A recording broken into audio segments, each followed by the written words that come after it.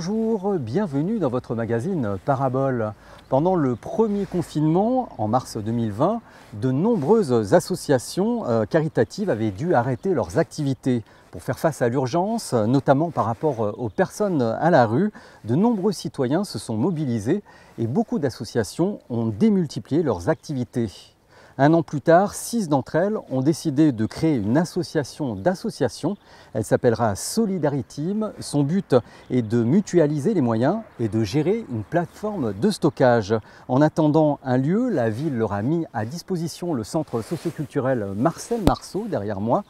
Si vous voulez, je vous propose d'y faire un petit tour. Alors là, on est dans la pièce principale des locaux euh, qu'on occupe avec euh, cinq autres structures. Donc là, on arrive sur le couloir principal avec l'entrée. C'est ici qu'intervient par exemple notre euh, action de distribution vêtements l'après-midi.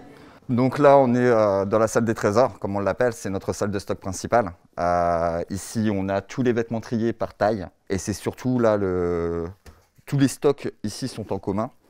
Donc là, on est dans, dans la cuisine, une cuisine professionnelle avec deux espaces de travail bien distincts, avec les équipements four, chauffe-plat, à cela, il faut encore ajouter cette chambre froide où sont stockés les aliments collectés. Ces locaux sont prêtés temporairement par la ville de Strasbourg. Les six associations qui se les partagent sont en train de créer l'association Solidariteam. C'est Agisson 67 qui porte le projet. Il demande des locaux pérennes pour mutualiser les moyens. L'idée, c'est de proposer à des initiatives citoyennes qui ont envie, mais qui n'ont pas la structure, l'expérience et surtout les moyens logistiques, de venir chez nous et puis bah, tout simplement de, pouvoir être membre euh, de, cette future structure euh, sans finalement avoir des difficultés au niveau juridique. Au fourneau ce matin, les membres d'une des six associations de Solidariteam. Elle s'appelle Patate et elle est composée de jeunes gens dont la moyenne d'âge se situe autour de 20 ans. Ces box vont être distribués en maraude aux personnes de la rue du centre-ville de Strasbourg. Cette toute jeune association est née juste après le premier confinement. Je révisais pour le bac.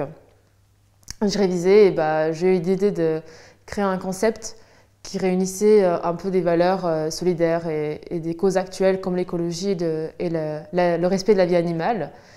Et du coup, bah, de là, on a créé Patate, qui était un concept puis, euh, puis c'est devenu une association euh, au fil du temps. Mais une association avec un drôle de nom, Patate. Ça veut dire partageons notre amour et notre temps en pensant aux animaux et à la terre de façon économique et solidaire. Et la solidarité pour l'association Patate, ce sont des cours de soutien, des distributions de vêtements et des maraudes, comme celle d'aujourd'hui. Ce matin, il y a de nombreux nouveaux. C'est Alexis qui les accueille. Bonjour. alors, euh, alors, il faut porter beaucoup de courage, beaucoup de bienveillance et beaucoup d'amour parce que c'est ça qu'on va distribuer aujourd'hui. Ça marche. Alexis est le cofondateur de Patate. Il a commencé les maraudes il y a seulement quelques mois. Le plus dur pour lui est le port du masque. Et effectivement que le masque, comme il n'y a pas d'expression faciale, c'est d'autant plus compliqué. Mais euh, moi j'ai trouvé une petite technique, je m'habille en couleur. voilà, ça attire un peu l'œil et euh, il y a des gens qui apprécient, il y a des gens qui apprécient, donc euh, voilà, c'est cool. Mais un jour je pense qu'on va faire ça, on va faire des actions où tout le monde sera obligé de venir en couleur. En attendant, deux nouveaux bénévoles ont rejoint le groupe. Alexis leur prodigue les derniers conseils. On demande aussi aux gens s'ils ont de quoi dormir ce soir parce que euh, la ville a débloqué des gymnases pour pouvoir justement euh, loger les sans-abri quelques jours. Quelques centaines de mètres plus loin, le groupe a l'occasion de mettre en pratique ces consignes. Nous, c'est patate. Patate. Euh, patate. merci, patate. Patate. voilà, moi, ça fait presque 6 ans que je suis dans la rue, tu vois. 6 ans. Et ça fait plaisir quand il y a des gens. Ça, c'est Il y a des gens comme vous qui, qui, qui bataillaient pour nous. Ah, c'est normal. Ah Les personnes leur sont d'autant plus reconnaissantes que ce matin, il fait moins 10 degrés. Je pense que c'est des bons. Pourquoi? Pourquoi? Parce que euh, ils nous laissent pas dans la merde. au moins ils nous donnent à manger. Ils nous donnent à manger, ils nous donnent des habits, ils nous donnent des couvertures, tout ça, tout. De l'autre côté de la rue, d'autres bénévoles essayent de trouver une solution d'hébergement pour cet homme qui souffre du froid. Il négocie avec le 115. Là, ce monsieur, effectivement, est demandeur d'une mise à l'abri. Il explique qu'il dort dans une voiture qui lui a été mise à sa disposition, mais qui ne dispose pas de chauffage depuis plusieurs nuits. Euh, sachant qu'on a eu des moins 11, des moins 10. Euh, et là, normalement, quand j'appelle, je devrais avoir une orientation directe. Et on me demande en fait de faire attendre ce monsieur euh, jusque ce soir, en espérant qu'il croise la maraude du SIAO. Ce qui veut dire finalement connaître le trajet de cette maraude et on ne le connaît pas et il n'y a qu'un seul véhicule sur la ville. Et là, normalement, j'ai le directeur du SIAO qui doit me rappeler, ce qui n'est pas mon signe, parce que normalement, euh, je devrais juste avoir appelé, comme on l'a fait euh, hier et avant-hier, et euh, qu'on me dise où orienter ce monsieur. Le SIAO est l'association qui gère le 115 et les mises à l'abri. Et nous, il y a deux jours, on a fait une maraude d'urgence où on distribuait des couvertures à des gens qui étaient dans la rue, etc. Et on leur a demandé où est-ce qu'ils veulent être logés. Et, euh, voilà. et en gros, le SAO, ils ont mobilisé euh, des camionnettes pour venir chercher les gens. Aujourd'hui, une équipe va rester pour trouver une solution. Les autres continuent leur maraude. Là encore, ils sont accueillis à bras ouverts. Moi, je trouve euh, ce que vous faites là, c'est génial. Continuez, venez tous les jours. Parce que là, en ce moment, on, on se les paie.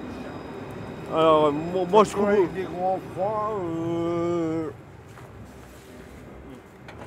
surtout avec des grands froids, faudrait qu'il y ait plus de maraudes qui viennent. La maraude de patates, elle, continue sa tournée. Ils ont 50 repas chauds à distribuer. Au même moment, à quelques kilomètres de là, deux autres associations de Solidarity sont à pied d'œuvre auprès des étudiants. Aziz Adjaoud est le président de l'association Les Compagnons de l'Espoir. Il l'a créé il y a six ans et il a été un des premiers à tirer la sonnette d'alarme sur le sort des étudiants confinés. Avec le premier confinement, euh, moi j'ai eu des retours puisque je suis certains étudiants qui sont là d'ailleurs depuis 2018 euh, où je suis en contact avec eux. Et donc du coup j'ai eu des retours de terrain euh, par rapport à la précarité qui était grandissante où certains avaient deux, trois loyers de retard.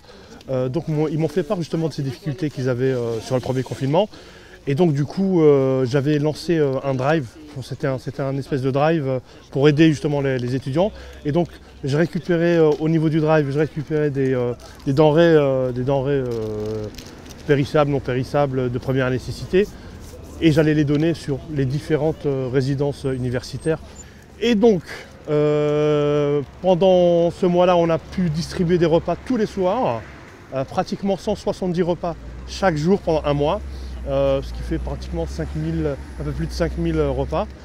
Et euh, à la fin de ce mois-là, du coup, on a lancé les marchés de l'espoir.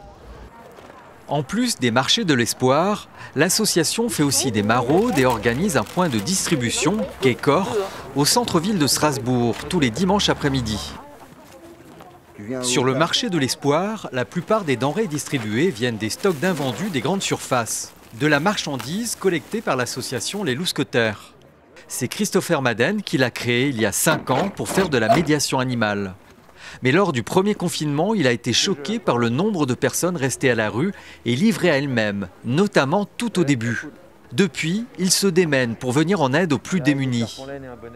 On est réactif, on est là, on est présent. On est là, on est présent, on n'a pas besoin d'une lettre de mission et on n'attend pas les subventions pour faire les choses. On fait effectivement, on se démerde avec nos carnets d'adresses, avec les vieux copains, avec, euh, avec le monde privé. Alors en Alsace, ça fonctionne bien parce qu'il y a une vraie culture de... Je ne parle pas de religion là, parce que là, il y a des chrétiens, des juifs et des arabes et des musulmans qui, travaillent ensemble depuis des mois, sans aucun souci. Euh, mais il y a une vraie culture protestante de, l'entraide euh, les entreprises ne demandent pas de retour, même pas de retour comme pour la plupart. Euh, sauf les poids lourds nationaux et internationaux, mais les locaux, non. Euh, il y a une vraie culture de l'entraide en Alsace qui fonctionne vraiment bien. Une culture de l'entraide qui permet à près de 150 étudiants par distribution de repartir avec de quoi vivre pendant une semaine. Il n'y a pas d'assez de travail, euh, tous les restos sont fermés, donc ça serait difficile de chercher un travail, donc on peut trouver des aliments, des nécessités ici, c'est un, un grand aide pour nous. Une aide aux étudiants que propose aussi le Secours populaire depuis fin novembre. Nous sommes à une centaine de mètres du marché de l'Espoir, le directeur de l'association voit ces petites structures comme des partenaires. Même si on est un peu plus important, on reste une association de bénévoles. Et, euh, et donc clairement, on ne peut pas être partout ni tout faire. Donc effectivement, ces, citoyens qui se sont mobilisés, ces petites associations qui se sont composées, c'est une très bonne chose parce qu'elles ont pu euh, venir euh, combler des lieux où, euh, où- où des associations n'étaient pas présentes. Mais encore une fois, ça a été aussi rendu possible parce qu'il y a des moyens qui ont été mis sur la table qui n'avaient jamais été mis en place. Que ce soit en termes des pouvoirs publics, comme en termes de mobilisation du grand public, entre guillemets. Retour au centre Marcel Marceau. L'équipe de patates trie des vêtements qui sont distribués ici chaque samedi après-midi au marché de l'Espoir. Les bénévoles sont aidés par Agisson 67 et les Soins de la rue, une des associations de Solidaritime. Comme son nom l'indique, elle s'occupe de la partie sanitaire et médicale. Cette interaction entre associations a permis aux uns et aux autres de grandir rapidement. Le terrain nous a appris. Il y a beaucoup d'autres associations qui nous ont aussi euh, soutenus, épaulés. euh, ils nous ont un peu partagé leur expérience. Et parmi ces associations, il y a Au cœur de la rue. Elle aussi fait partie de Solidaritime. Sa spécialité, les maraudes, le mardi soir. Normalement, il y a des habits pour les deux groupes. Ah, parce que là, Donc on a euh, là, si vous avez besoin d'habits, là ici on a des habits. Là on a des couettes. Parfait. Il faut dire que ce soir-là, le froid est mordant. Pour cette maraude, les bénévoles sont tellement nombreux que le groupe est scindé en deux. Comme à chaque fois, il y a de nombreux nouveaux. Alors il faut répéter les consignes. Donc on va y aller euh, vraiment, on reste groupé, on fait petit à petit et on évite de se faire encercler. Une fois arrivés sur place, l'ambiance est plutôt détendue. Il faut dire que pour les personnes de la rue, le passage des maraudes est un moment important dans leur journée. Vous savez, euh, venir être à l'écoute du c'est euh, c'est important pour le SDF. Parce que, étant donné qu'il est tout le temps seul, il se sent un petit peu en marge de, tout. Donc quand il y a quelqu'un qui vient lui, euh, lui parler, bah, il a le sentiment euh, d'être pris en compte, de ne pas être mis en marge. Donc ça lui procure un bien-être, de, la baume au cœur, comme je disais tout à l'heure à votre collègue. Et je pense que c'est bien, c'est bien, c'est une grande qualité. Ce soir, beaucoup font leur première maraude. Pour y participer, la plupart est passée par les réseaux sociaux. Du coup, j'ai regardé comment ça se passait. Ça m'a conforté dans mon choix de rejoindre ces associations-là. Et j'ai juste eu à envoyer un message, euh, payer la petite cotisation euh, pour pouvoir intégrer l'association. Et ensuite, euh, je pouvais m'inscrire dès, dès, dès mon- dès mon inscription, je pouvais m'inscrire pour venir faire les maraudes tous les mardis soirs. Même si elle faisait des maraudes depuis de nombreuses années, l'association Au cœur de la rue existe officiellement depuis octobre dernier. Depuis le premier confinement, leur nombre de membres a explosé. Alors faire partie de Solidaritime a été comme une évidence. Le fait d'être dans un euh, collectif donc, qui, sera, euh, qui s'appellera donc Solidarity, ça nous permet d'avoir plus de visibilité sur ce qui, se fait à Strasbourg avec toutes les associations et également avoir accès à plus de ressources, ce qu'on ne pouvait pas faire avant. Les statuts de la nouvelle association sont rédigés et prêts à être déposés au tribunal. À la fin du confinement, le centre Marcel Marceau sera rendu à sa vocation initiale. La nouvelle association Solidaritime espère obtenir rapidement de nouveaux locaux partagés. Eh bien, c'est tout ce qu'on leur souhaite. Si vous aussi vous voulez vous investir, vous pouvez aller sur la page Facebook Agissons 67. C'est la fin de cette émission. Merci de nous avoir suivis et à bientôt.